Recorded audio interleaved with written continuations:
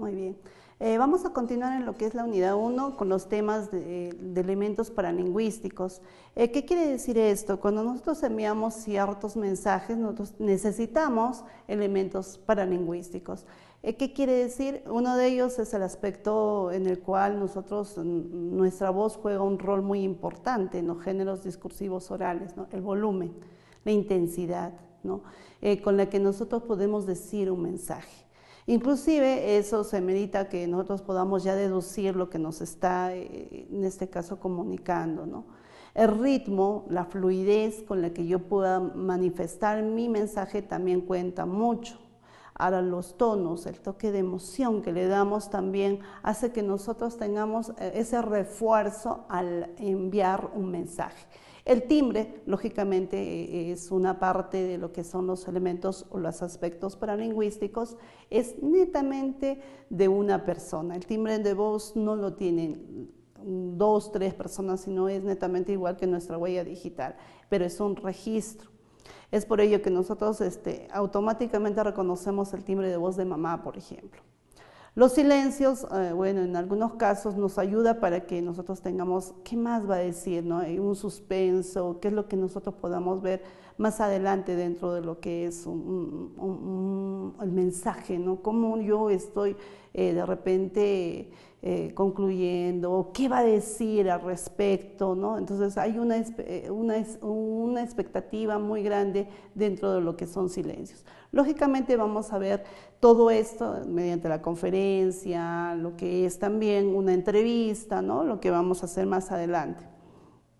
Hay aspectos corporales que también a su vez eh, nosotros nos invita a que podamos tener eh, en cierta medida este refuerzo al mensaje. Eh, bueno, yo, ustedes saben que hay algunas personas, por ejemplo, dicen sí, pero con, la cabecita no. Entonces a veces uno dice, ¿qué pasa? No? los elementos también dentro de lo que son los aspectos corporales tienen que ir a la par con lo que es los elementos paralingüísticos para que puedan reforzar y dar a conocer sí el mensaje que nosotros estamos enviando. Ahí tenemos en el proceso kinestésico, tenemos la prosémica y también lo que es la imagen personal. En lo que es la kinestesia tenemos la expresión facial.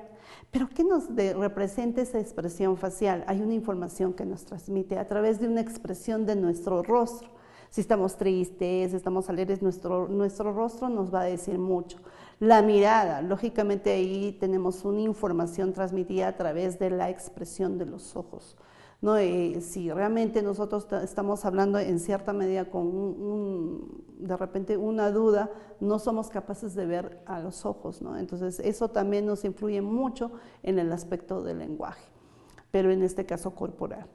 La postura, lógicamente la postura, nuestro cuerpo también nos indica qué es lo que nosotros estamos enviando, ¿no? ¿Qué es? Estoy nervioso, de repente, inclusive eso se nos nota por estar rígidos, ¿no?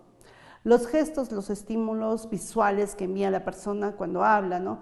Eh, de repente, en algunos casos, bueno, a veces algunos tienen algunos, eh, bueno, ¿no? Más reforzados ciertos gestos que hace que el mensaje llegue mejor, ¿no? A veces los oradores hacen de esta manera que el mensaje, pues, wow, ¿no? Impacte mucho al receptor.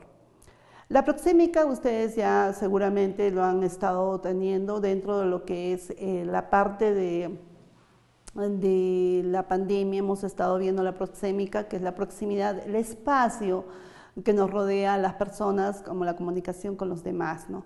Entonces, este, a veces uno tiene de un metro, metro y medio, dependiendo, eh, cuando nosotros estamos dando a conocer un discurso, vamos a tener que ver mucho la proxémica, ¿no? Como es el intercambio de los espacios que es muy importante también, claro, porque nosotros vamos a tener así también la forma de modular el volumen, ¿no?